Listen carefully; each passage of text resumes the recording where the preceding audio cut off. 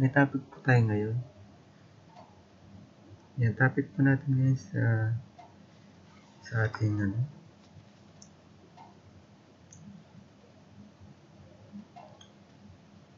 Ang topic po natin how to create YouTube tab thumbnail.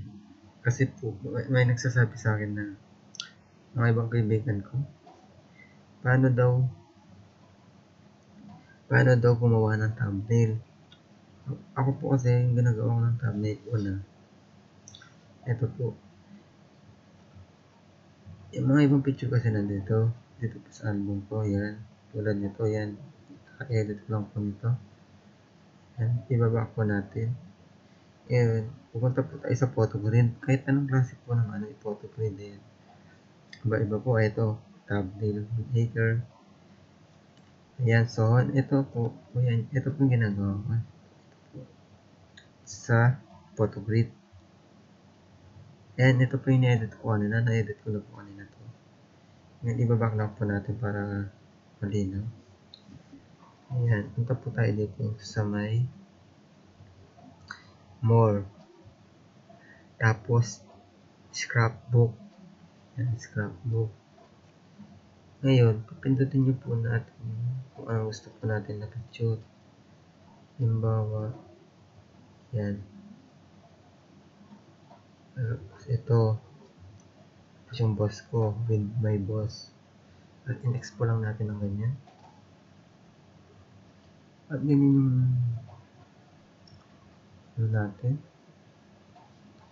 Tapos, pahabahin lang po ito. Ayan. Ganyan lang po gumawa ng tablet. Ganito lang po ang gumagawa ng tablet ko. Napakasimpleng tablet lang po. Ayan.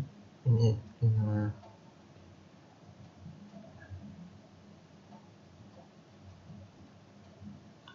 i-edit ko po yung mga ano yan. Tulad yan yan. kasama po yung boss kong pasaway. boss kong pasaway. Yung boss kong dagdagan pa natin ng isang picture.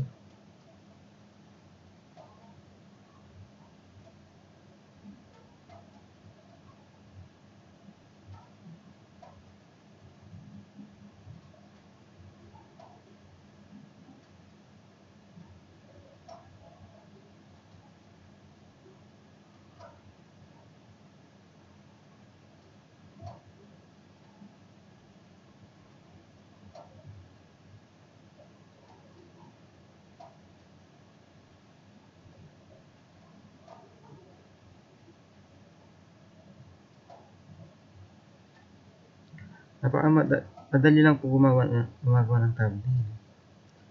Tulad nito, napakasimple lang po ng thumbnail ko. Gaya ko, napakasimple. Ganyan lang po gumawa ng thumbnail. Tapos, pindutin natin yung drop para lilitaw lahat. Yan yung boss ko. Isama natin yung boss ko. Live stream with my boss. Ayan, tapos, isulat po natin dito gusto po natin mag-input ng ng text. Ito po, punta natin na yung text. Ayun. Tapos, magsulat tayo ng live stream para po yung mga viewers, alam po nila yung yan. Tapos, yan. Pwede po natin palitan yung kulay. Punta po tayo dito sa may color. Yan. Mamili lang po. Okay lang. Ayan, kulay blue. Okay kulay blue, ayan. Tapos kung gusto niyo malaki, malaki lang po ng ganito. Ayan.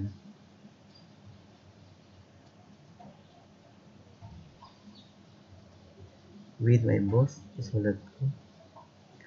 May nakita ako.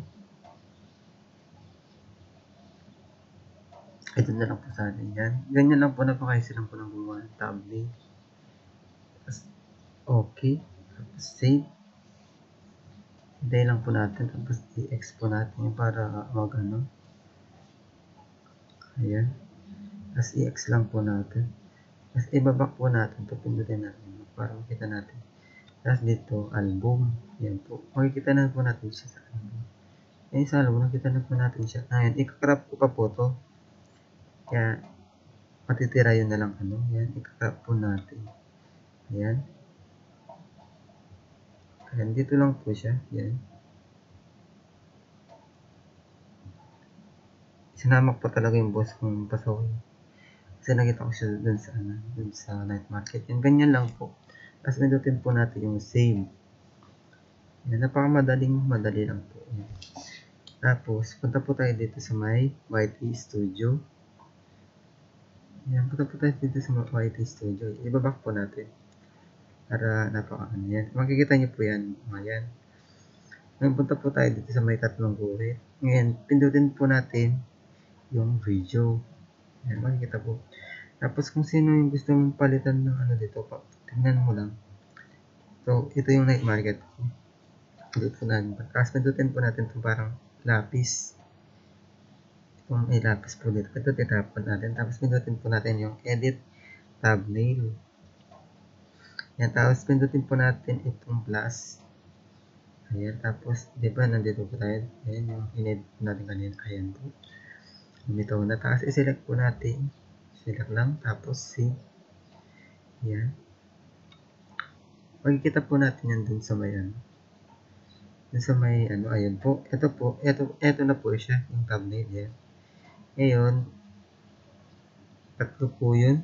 Para pare-pareho po. Kasi, naka-take 3 po ako. Nag-log yung ano natin. Ayan, pinutin lang po natin. Ganyan lang. Napaka-madali lang po. Napaka-madali lang po gumawa ng thumbnail. Dito po sa mga ano, tutorial natin. Ayan. Palitan pa natin ng isa take to natin na 32 seconds. I think, burahin ko na to, itong 32 seconds na to. Kung paano po naman pong, ano, mag-delete po ng videos. Dito po sa, ano natin, White Studio. Sa may ano, ayan, napaka, napaka, napaka, napaka, madali lang po itong tutorial nito. How to create thumbnail on White Studio. Yan po. Napaka madali lang po ito. Ayan. Tapos kung gusto niyo pa po ng ibang ano yung iba po kasi hindi po nila alam kung asa naki, saan po nakikita yung mga yung mga nabub, nababasura po natin na na comments Ayan, punta po tayo dito sa may ano, YT Studio dashboard. Dito sa may tatlong guhit. Ito po tayo dito sa comment. Ayan. Makikita po natin dito sa publish. Ayan po. Piliin nyo lang po yan publish. Held for review. Sabi niya like spam. Ito po yung like spam. Dito po natin nakikita. Pindutin po natin yan. Yan, no spam na po. Dahil binubura ko araw-araw. Ayan, dito po sa may ano, marami, yan po. Dito lang po, napakasimple lang. Ano, ayan po yung mga, mga publish. Ano, kailangan mo ipasuhan, yan. Napamadali lang po nang makita yung mga likely comment. Yung mga, mga nababasura po natin na comment. Kailangan po natin talagang maintain yung mga comment na yan. Yan, napakamadali lang po yung ating tutorial. Ang next na tutorial po natin, abangan ninyo po. Maraming maraming salamat po sa panonood ng aking tutorial. Thank you. Thank you so much. Please subscribe my my may pulang